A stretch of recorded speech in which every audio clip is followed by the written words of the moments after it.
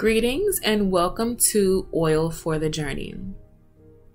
My name is Sherry and I am your journey reader for today. We follow the Bridges for Peace Ignite the Truth Bible reading plan. Today I will be coming to you from the book of Isaiah, chapters 37 through 39. So please follow along as we dive into the book of Isaiah today. And it came to pass when King Hezekiah heard it, that he rent his clothes and covered himself with sackcloth, and went into the house of Jehovah. And he sent Eliakim, who was over the household, and Shebna the scribe, and the elders of the priests, covered with sackcloth, unto Isaiah the prophet, the son of Amos and they said unto him, Thus said Hezekiah, This day is a day of trouble, and of rebuke, and of contumely. For the children are come to the birth, and there is not strength to bring forth. It may be Jehovah thy God will hear the words of Rabshakeh, whom the king of Assyria his master hath sent to defy the living God, and will rebuke the words which Jehovah thy God hath heard. Therefore lift up thy prayer for the remnant that is left.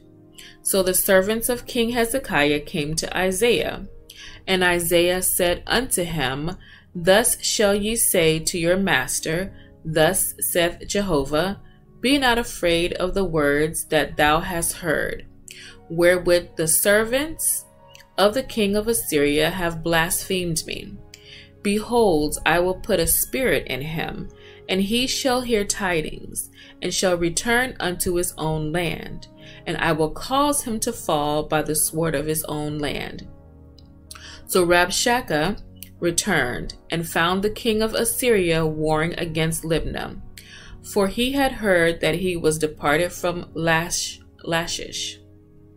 And he heard say concerning Tir- king of Ethiopia. He is come out to fight against thee. And when he heard it, he sent messengers to Hezekiah, saying, Thus shall ye speak to Hezekiah, king of Judah, saying, Let not thy God in whom thou, thou trustest deceive thee, saying, Jerusalem shall not be given into the hand of the king of Assyria. Behold, thou hast heard what the kings of Assyria have done to all lands, by destroying them utterly. And shalt thou be delivered? Have the gods of all the nations delivered them, which my fathers have destroyed Gozan, and Haran, and Rezeph, and the children of Eden that were in Telassar? Where is the king of Hamath, and the king of Arpad? And the king of the city Sepharvaim, or Hena, or Ivah. And Hezekiah received the letter from the hand of the messengers and read it. And Hezekiah went up unto the house of Jehovah and spread it before Jehovah. And Hezekiah prayed unto Jehovah, saying, O Jehovah of hosts, the God of Israel, that sittest above the cherubim, Thou art the God, even thou alone, of all the kingdoms of the earth. Thou hast made heaven and earth.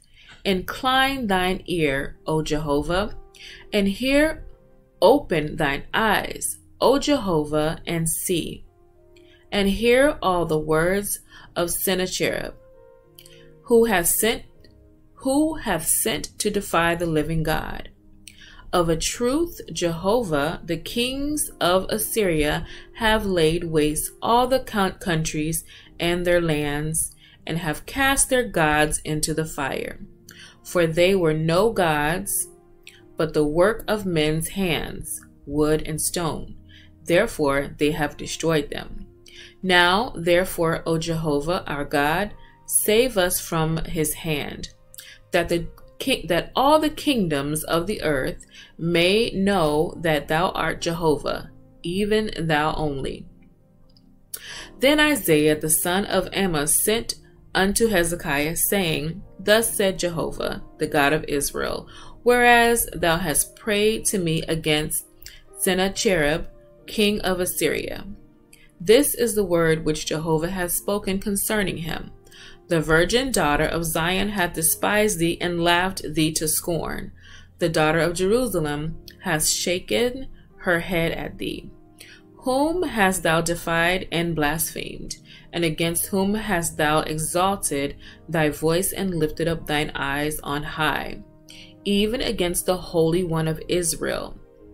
By thy servants hast thou defied the Lord, and hast said, With the multitude of my chariots am I come up to the height of the mountains to the innermost parts of Lebanon, and I will cut down the tall cedars thereof, and the choice fir trees thereof, and I will enter into its farthest height, the forest of its fruitful field. I have digged and drunk water, and with the sole of my feet I will dry up all the rivers of Egypt. Hast thou not heard how I've done it long ago and formed it of ancient times? Now have I brought it to pass that it should be thine to lay waste fortified cities into ruinous heaps. Therefore, their inhabitants were of small power. They were dismayed and confounded. They were as the grass of the field and the green herb of the grass on the housetops, and as a field of grain before it is grown up. But I know thy sitting down, and thy going out, and thy coming in, and thy raging against me. Because of thy raging against me, and because thine arrogancy is come upon come up into mine ears. Therefore I will put my hook in thy nose, and my bridle in thy lips, and I will turn thee back by the way by which thou camest. And this shall be the sign unto thee Ye shall eat this year that which groweth of itself, and in the second year that which springeth of the same. And in the third year sow ye and reap and plant vineyards, and eat the fruit thereof. And the remnant that is escaped of the house of Judah shall again take root downward, and bear fruit upward. For out of Jerusalem shall go forth a remnant, and out of Mount Zion they shall they that shall escape. The zeal of Jehovah of hosts will perform this. Therefore, thus said Jehovah concerning the king of Assyria he shall not come into the city, nor shoot an arrow there. Neither shall he come before before it into or with a shield, nor cast up a mound against it. By the way that he came, by the same shall he return, and he shall not come into the city, said Jehovah. For I will defend this city to save, for my own sake and for my servant David's sake.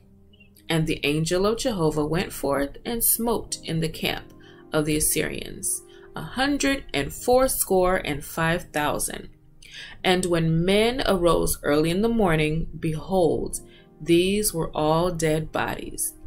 And Sennacherib, king of Assyria, departed, and went and returned and dwelt at Nineveh.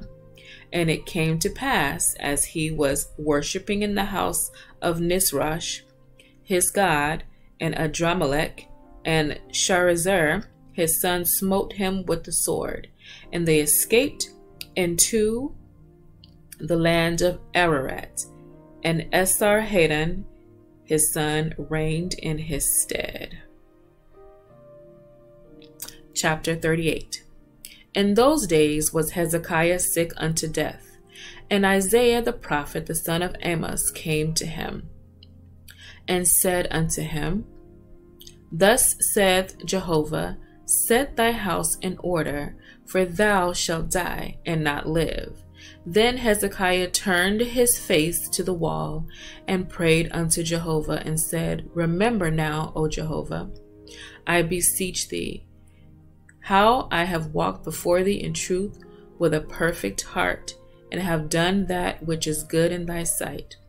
And Hezekiah wept sore. Then came the word of Jehovah to Isaiah, saying, Go and say to Hezekiah, Thus said Jehovah, the God of David thy father, I have heard thy prayer, I have seen thy tears. Behold, I will add unto thy days fifteen years. And I will, del- I will deliver thee and this city out of the hand of the king of Assyria, and I will defend this city. And this shall be the sign unto thee from Jehovah, that Jehovah will do this thing that he hath spoken. Behold, I will cause the shadow on the steps, which is gone down to the dial of the of Ahaz with the sun, to return backward ten steps. So the sun returned ten steps on the dial whereon it was gone down. The writing of Hezekiah, king of David, when he had been sick and was recovered of his sickness. I said, In the noontide of my days I shall go into the gates of Sheol. I am deprived of the residue of my years. I said, I shall not see Jehovah, even Jehovah, in the land of the living. I shall behold man no more with the inhabitants of the world. My dwelling is removed and is carried away from me as a shepherd's tent. I have rolled up like a weaver my life. He will cut me off from the loom. From day even to night wilt thou make an end of me. I quieted myself until morning. As a lion, so he breaketh all my bones. From day even to night wilt thou make an end of me. Like a swallow or a crane, so I did chatter. I did moan as I dove. Mine eyes fell with looking upward. O Lord, I am oppressed. My be thou my surety. What shall I say? He hath both spoken unto me, and himself hath done it. I shall go softly all my years because of the bitterness of my soul. O Lord, by these things men live and holy therein is the life of my spirit. Wherefore recover thou me and make me to live. Behold, it was for my peace that I had great bitterness. But thou hast in love to my soul delivered it from the pit of corruption. For thou hast cast all my sins behind thy back.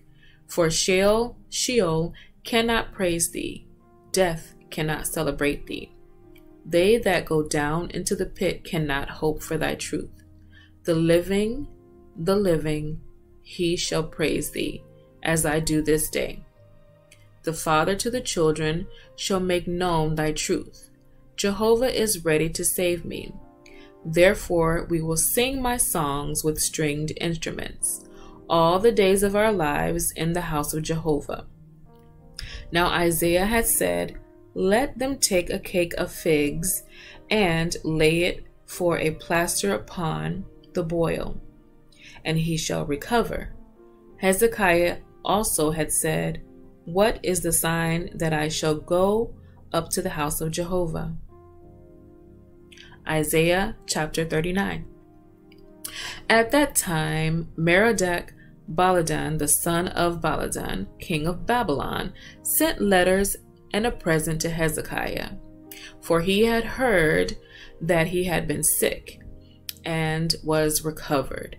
And Hezekiah was glad of them and showed them the house of his precious things, the silver and the gold and the spices and the precious oil and all the house of his armor and all that was found in his treasures. There was nothing in his house nor in all his dominion that Hezekiah showed them not.